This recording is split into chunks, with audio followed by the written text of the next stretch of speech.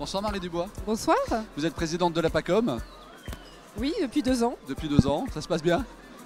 Ça se passe et ça se termine bientôt. Ah, d'accord. C'était une expérience très riche. Ouais, quelle belle soirée. Merci.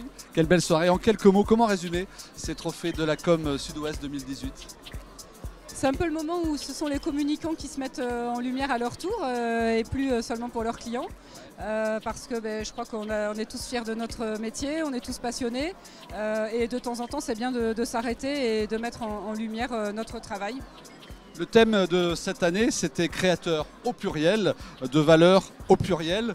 Quelles sont ces valeurs en question? Alors les valeurs, c'est- ça a plein de sens, hein, euh, mais d'abord la première chose, c'est que la communication est euh, génératrice de valeur pour le business, pour le, développement économique des entreprises. Et ça, c'est pas toujours euh, perçu comme tel, c'est un investissement, c'est pas une dépense. Et puis euh, au-delà de ça, ben, la communication porte aussi euh, les valeurs d'image, les valeurs éthiques, sociales, sociétales euh, des entreprises, dont elle est souvent euh, le garant. Bien sûr. Euh, 115 professionnels de la communication ont candidaté à ces trophées de la Com Sud-Ouest. On peut dire que c'est un vrai carton, c'est un beau succès.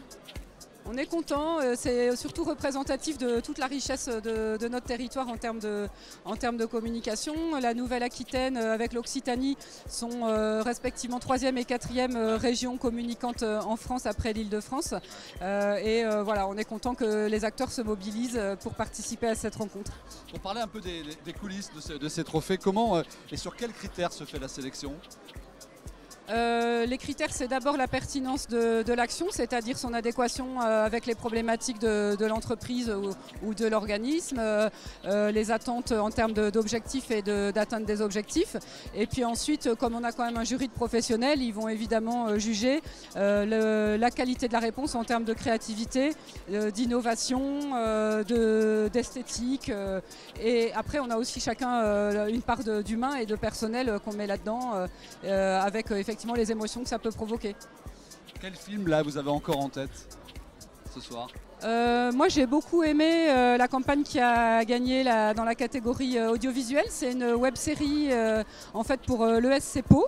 euh, qui sort vraiment de l'ombre avec cette web série qu'ils ont traitée de façon à la fois très pro, très humoristique et pleine de sens. Donc ça m'a beaucoup plu. Les réseaux sociaux, de quelle façon ont-ils fait évoluer le monde de la communication ces quelques années? Mais je, je parle souvent de, de frénésie, voire de frénétisme. Euh, En fait, euh, le, le- le digital en général a provoqué une accélération dans nos métiers. Euh, et euh, donc, euh, on, on- on est quand même dans un monde très complexe parce qu'on a beaucoup plus d'informations et qui arrivent beaucoup plus vite. Et pour prendre des décisions et traiter, c'est très compliqué. Mille merci Marie Dubois, présidente de la PACOM. Merci à vous. Et- Merci à TV7 euh, d'avoir été partenaire de cet événement. C'est un vrai plaisir et bonne route pour la suite donc. Merci, bonne Merci, soirée. Merci.